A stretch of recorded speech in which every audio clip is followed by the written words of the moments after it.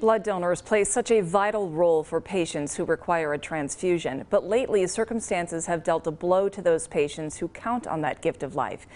Eyewitness News Health Beat reporter Mark Hiller is live in Pittston Township tonight to explain. Hi, Mark.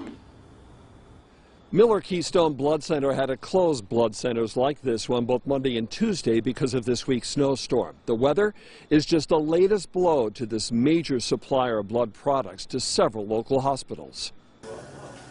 Empty blood donor beds have become an all too familiar sight at Miller Keystone Blood Center. While it's not uncommon for donations to run low a month after the holiday season, the situation is made more serious by the ongoing pandemic and the latest snowstorm it's really, really become very challenging this week to the point that inventory is at a critical level. Miller Keystone's multiple blood collection centers are counted on for 450 units of donated blood each day. We canceled probably close to 10 blood drives in our local community, which is a loss of several hundred units. Blood, which hospitals like Lehigh Valley Health Network, St. Luke's, and Geisinger rely on for patients dealing with cancer, trauma, and elective surgeries who require transfusions.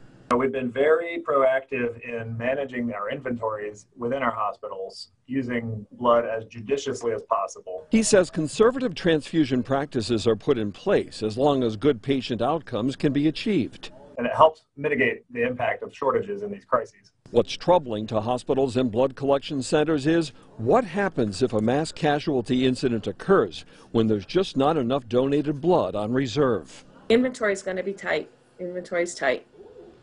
Now, because of those canceled blood drives, Miller Keystone is holding an emergency one tomorrow outside Geisinger CMC in Scranton from 7 a.m. to 3 p.m. Head to pahomepage.com to learn more about that. With the Health Beat Live in Pittston Township, Mark Hiller, Eyewitness News.